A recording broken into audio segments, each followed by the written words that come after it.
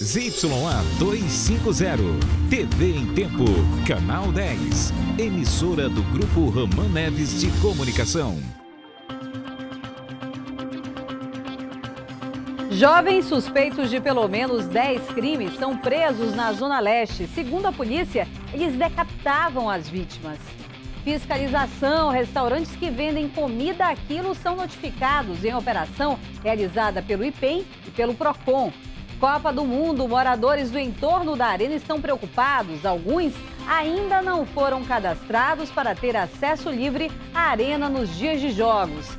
Deputados lançam campanha para pressionar governo federal a concluir as obras da BR-319. O Jornal em Tempo desta quinta-feira já está no ar.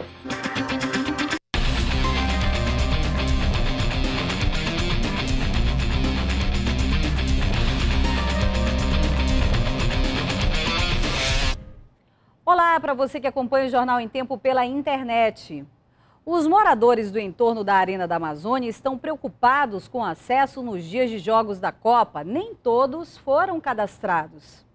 Esta comerciante não estava em casa no dia em que a equipe veio fazer o cadastro e por isso ela não pôde incluir o carro do filho para ter acesso livre. Por esse motivo de não poder, de estar tá vendo toda essa burocracia de que está havendo aí, de não ter acesso às pessoas que não foram cadastradas.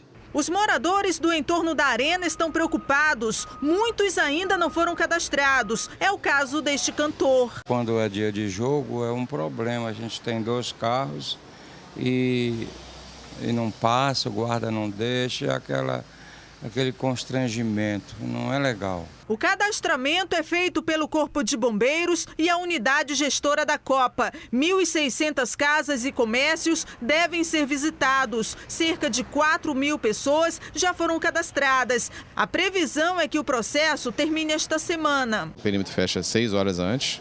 Então, se tiver alguma festa, algumas pessoas quiserem receber, não há problema. É possível, mas desde que cheguem cedo para que não haja transtornos exatamente nesse acesso, porque o acesso vai ser restrito e quem não tiver credenciado não vai poder circular para garantir a segurança de todos. Quem trabalha no entorno da Arena da Amazônia também precisou se adaptar. Seu Arnoldo pagou 18 mil reais para se adequar às regras da FIFA. Uma placa dessa é caríssima, né? A FIFA exige que as placas de propaganda dos comércios que ficam no entorno do estádio sejam de empresas que patrocinam o Mundial. Ao todo, são 21. Dona Elcinete tem um restaurante com uma vista privilegiada de frente para a arena. Ela se preparou com um ano de antecedência. Para mim, eu acredito, não prejudicou em nada. Não vai me prejudicar em nada. Que venha a Copa, que venha os turistas, que venha os amazonenses, entendeu? A partir desta quinta-feira, a Arena da Amazônia passa a ser responsabilidade da FIFA. Restaurantes que vendem comida aquilo foram notificados hoje em uma operação realizada pelo IPEM e o PROCON. A fiscalização começou pela zona sul da cidade. O alvo da fiscalização é a balança. O IPEM e o PROCON receberam 22 denúncias de peso irregular. Além disso, nem todos os restaurantes informam ao cliente o valor cobrado por quilo. Porque às vezes o cliente chega e não sabe, quando chega lá ele é constrangido, ele vê que o valor não é aquilo que ele poderia pagar e ele sai. Mais de 200 locais, entre restaurantes e padarias, vão ser fiscalizados. Nós orientamos que o consumidor primeiro verifique se existe um cartaz ao lado da balança informando a tara. A tara é o peso do prato. Esse peso tem que ser descontado na hora da pesagem. É uma verificação simples, basta que o consumidor pegue um prato vazio e coloque sobre a balança. A informação tem que aparecer zerada. Neste restaurante, a proprietária terá de trocar os pratos por causa de uma diferença na hora da pesagem. Além do peso, higiene, validade, conservação e a qualidade dos alimentos também são verificadas. As irregularidades podem gerar multa ou até suspensão do alvará de funcionamento. E vamos conversar agora ao vivo com a repórter Larissa Santiago, que está no Aeroporto Internacional Eduardo Gomes. Boa noite, Larissa. Os estragos da última chuva forte, né, de segunda-feira, já foram sanados ali naquela área de embarque e desembarque? Boa noite para você também, Marcela. Muito boa noite a você que acompanha a programação da TV em Tempo. Olha, nós transitamos pelo Aeroporto Internacional Eduardo Gomes mais cedo.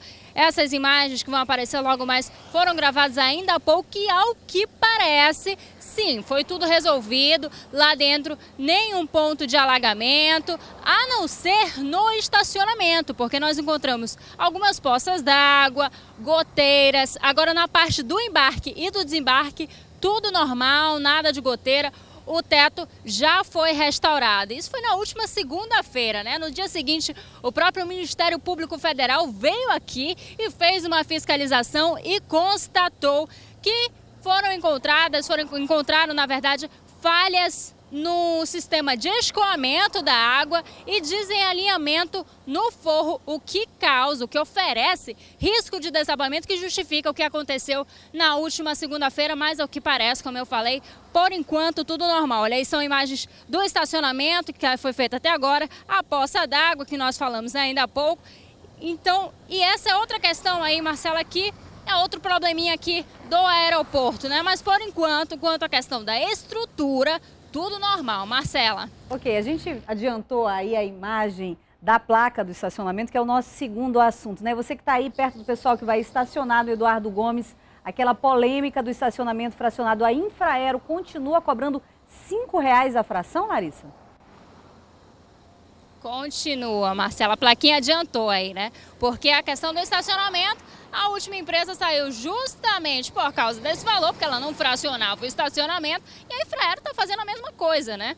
A, a, vieram aqui, o próprio PROCON veio aqui, levantou as cancelas, gerou toda uma polêmica, muitas pessoas saíram sem pagar naquele dia, e aí a Infraero assumiu no lugar da Comatic, que era a empresa que era responsável pelo sistema de estacionamento aqui do aeroporto Eduardo Gomes. A Infraero assumiu e continuou agindo da mesma forma, o estacionamento não está sendo cobrado de forma fracionada, tem a tolerância de 10 minutos. Então, se você passar 11 minutos ou mais, você já paga de cara R$ reais. Aqui não tem estacionamento fracionado não, Marcela. Quem vier aqui vai ter que gastar um pouquinho. Volto com você no estúdio. Obrigada, essa foi Larissa Santiago falando ao vivo lá da área externa do Aeroporto Internacional Eduardo Gomes.